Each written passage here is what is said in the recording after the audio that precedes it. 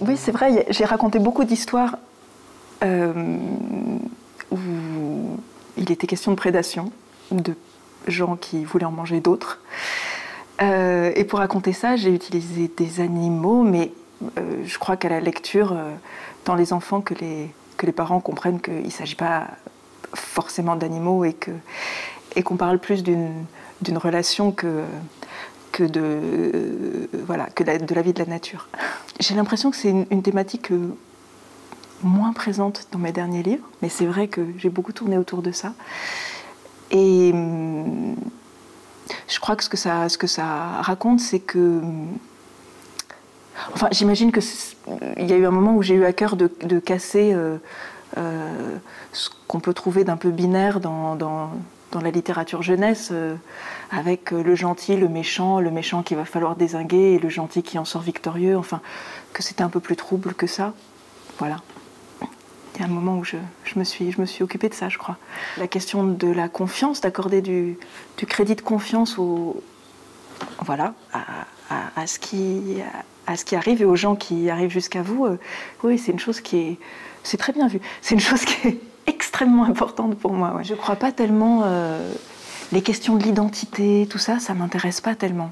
Euh, je préfère penser qu'on est qu'on est tous des entités en train d'avancer, de prendre, de se, de, voilà, se nourrir, accueillir, euh, repousser, etc. Que euh,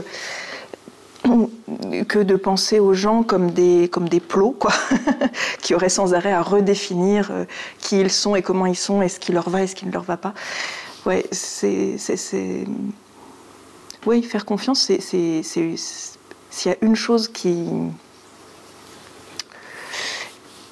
que je serais contente d'avoir d'avoir d'avoir euh, donné à mes lecteurs, même si c'est pas ça mon moteur numéro un. Mais ouais, je serais assez contente de leur avoir euh, donné euh, confiance en la confiance. Le problème, c'est que je fais pas grand chose en pleine conscience. C'est-à-dire que je sais ce qui moi me préoccupe. une fois que j'ai un peu mis au clair mes préoccupations, j'essaie de les comment dire de les mettre en forme pour que pour que ce soit appréhensible par des petits. C'est très souvent, je pars d'une d'une voilà, courbe euh, émotionnelle euh, et puis je la, je la rhabille en livre pour enfants.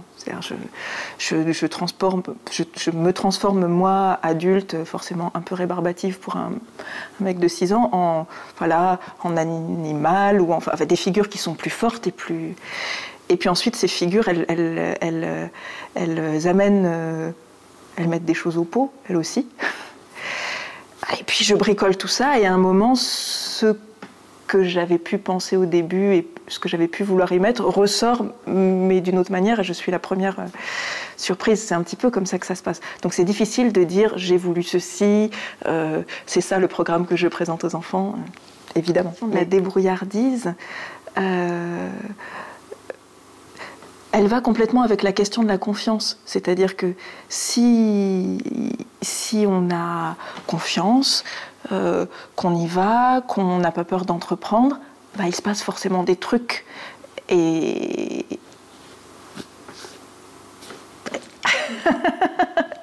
Et ça fait le chemin, quoi. Elles sont super vos questions. Je suis dégoûtée d'être si mal réveillée. Est-ce que je suis gourmande? Un petit peu. Mais euh, je vais quand même botter en touche. Oui, hein, oui. Mais je vais quand même botter en touche en, me rappelant des premières fois où j'ai utilisé ces métaphores culinaires.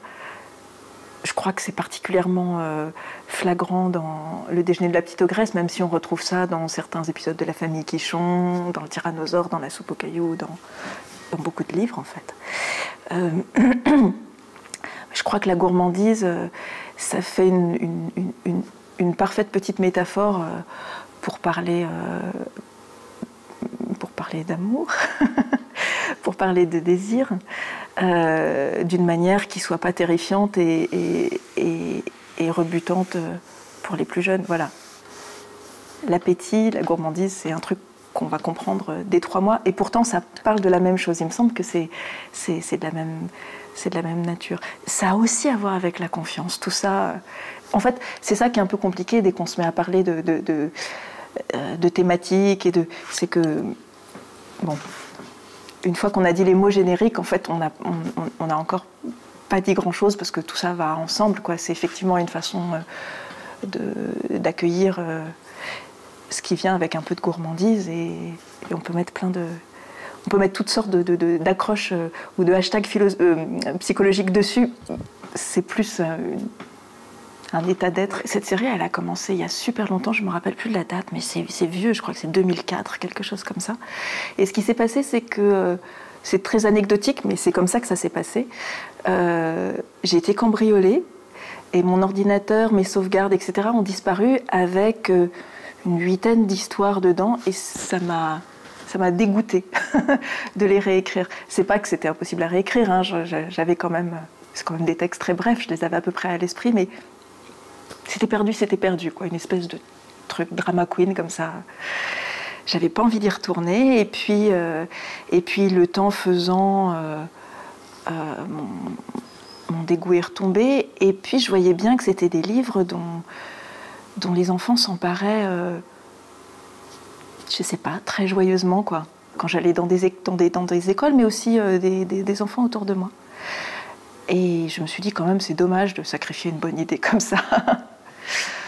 pour les beaux yeux d'un cambrioleur. Donc euh, j'ai fini par, euh, par, euh, relancer l'histoire de cette famille dans une. Voilà, c'était l'occasion aussi de, faire une nouvelle maquette un peu plus belle, plus grande, tout ça.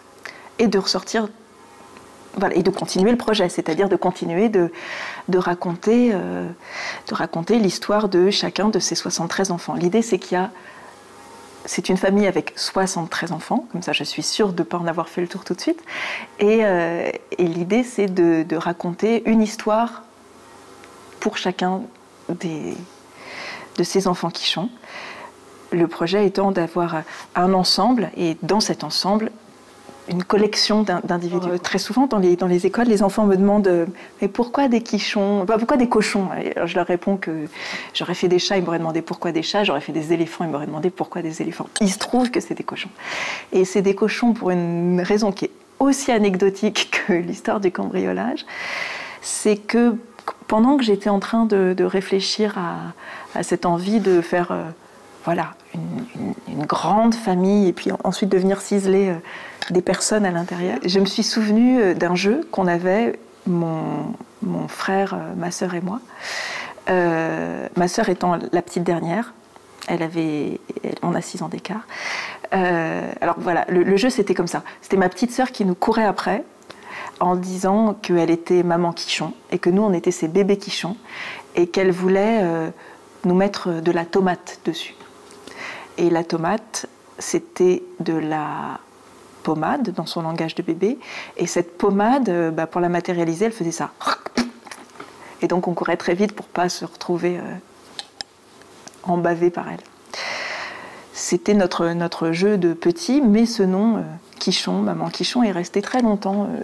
J'ai des lettres de quand j'étais étudiante à Paris, voilà, des lettres de ma petite sœur où elle signait encore Maman Quichon comme ça. Voilà. Et donc en pensant à cette famille, je me suis dit, ah, ce nom me semble tout trouvé. Et je l'ai gardé et donc bah, c'est devenu des cochons. Hein. ça, a démarré comme ça. Et puis, et puis ensuite, les personnages, euh, les personnages que j'ai désignés pour raconter mes petites histoires euh, bah, proposent des choses. Le fait que ce soit des cochons amène un certain nombre de, de trucs aux histoires. Alors oui, c'est vrai que ça fait maintenant un bon paquet d'années que je suis pas seulement, euh, autrice, illustratrice, mais aussi éditrice. Euh, je suis obligée d'avouer que ça me complique un peu la vie. je crois que, je, que fais plus les mêmes livres euh, depuis que je suis éditrice, parce que comme pour les, les auteurs que, que j'accompagne, que j'ai l'honneur d'accompagner, je suis obligée de je sais pas comment dire, de mentaliser beaucoup de choses pour pouvoir euh, les aider, pour pouvoir. Euh, ensuite, quand je me retrouve seule avec moi-même et que ce cette espèce de muscle de mentalisation est très fort, bah, ça m'empêche d'écrire en fait. Euh, ça vient trop tôt. Alors, je sais pas. je suis obligée. Enfin, je me suis sentie obligée, je crois, de parfois de, complexifier mes histoires pour, pour désactiver ce truc-là, ou de, Voilà, c'est moins simple. C'est moins simple à cause de ce gros muscle. Enfin, j'y prends toujours autant de plaisir une fois que, une fois que j'y suis, d'une part. Et puis, d'autre part, le vrai challenge, c'est quand même celui-là. Je trouve ça vachement plus difficile d'être auteur que d'être éditeur. Euh, je, continue. je continue quand même. C'est quand même ça, ça, continue de m'importer beaucoup. Évidemment, quand je suis arrivée, euh, quand, je me suis retrouvée à, faire des livres pour enfants, euh, mes lectures d'enfance sont revenues comme ça en paquet. Et dans mes lectures d'enfance, il y avait beaucoup, beaucoup de, livres de l'école des loisirs, des débuts de l'école des loisirs. Et c'est d'ailleurs pour ça que je me suis retrouvée à proposer mes, petites histoires à l'école des loisirs. Euh, et ce qui, je crois que le, point commun entre mes lectures de, de petites filles, c'était euh, euh, quelque chose qu'on pourrait appeler du classicisme en fait. Le souci plastique arrive, arrive un peu après. Au début, il y a la volonté de raconter quelque chose, une sorte de concentration sur ce qu'on est en train de raconter. Et puis à partir du moment où on est bien focus sur ce qu'on a envie de raconter, ben on, essaye de trouver les, meilleurs outils pour que ce soit clair, explicite, bien posé. Voilà, avec l'idée euh, que de toute façon, euh, puis voilà, je, trouve moi, de moi moi-même, que je ne suis pas une immense dessinatrice. Enfin, j'ai beaucoup d'empêchements. Euh, et donc je me dis que mon histoire, elle sera jamais euh, mesmerise, quoi. Ce sera jamais une chose fascinante qui va vous. Donc, comment dire L'image, il vaut mieux qu'elle se reconstitue dans le cerveau du lecteur que là sur ma page de à moi.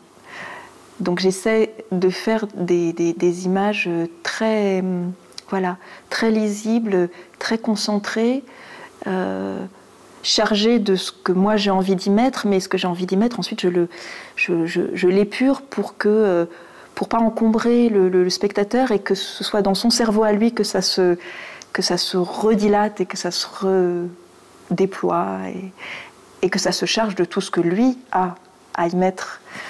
Voilà je lui fais, je, lui, fais cette confiance-là. Euh, et donc le job, c'est plutôt d'être très clair, très, très évidente. Euh, et puis dans le travail, il y a toujours un moment où on sait quand on, quand on est évident, on sait quand on, quand on est exact. Et quand je, quand je considère, enfin c'est même pas que je, pas du tout une considération, quand je sens, il faut, faut, oser ce mot-là, quoi, quand je sens que je suis exact, voilà, ça va. Et ça passe par, euh, bah, ça passe. C'est vrai que ça passe par le, ça passe par le trait. Je crois que le, le, trait du dessin est à voir avec le trait de l'écriture. C'est-à-dire on est, on est précis dans ce qu'on désigne. Ça permet aussi d'être exact sur les regards. Ça permet de, faire jouer très précisément les, mes petits acteurs en papier. Euh, donc j'en suis arrivée au trait. Mais avant de commencer à faire des livres pour enfants, euh, j'étais pas si dessinatrice que ça. Enfin, j'avais je, m'occupais beaucoup de photos, de peintures, d'installations, de, choses comme ça. Le dessin et cette, euh, ce souci de, de, précision dans le dessin est arrivé euh, avec, euh, avec la narration. Quand on dit nous, à quoi est-ce que je pense? Bah, Pardon, mais surtout avec les urgences écologiques qui nous arrivent dans la gueule, on est un peu tous sur le même bateau. Hein. Ça devient compliqué de faire des. De, de mettre des petites cloison. Euh. Après, j'ai un, problème avec, avec les nous et avec, euh, avec, euh, avec la, l'assignation à, à être ensemble, à faire équipe, à faire corps. Enfin, ça me, ça me gêne et je suis certaine à l'avance que ça va laisser trop de gens de côté pour mille raisons et que ça va remettre des, des, des, des voilà, des petites cloisons. Euh. Donc j'aime pas tellement ce, ce mot-là. Je préfère, euh, je, préfère penser à des, à des, je sais pas comment dire, à des, tresses de bonne volonté, à des associations de bonne volonté euh, qui, œuvrent ensemble qu'à une définition même si elle se veut englobante. J'aime pas trop nous.